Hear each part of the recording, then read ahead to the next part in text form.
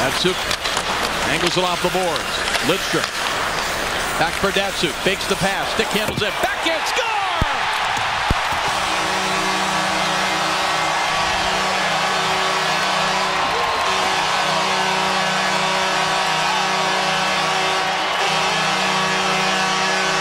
Pavel Datsyuk with unbelievable creativity and skill.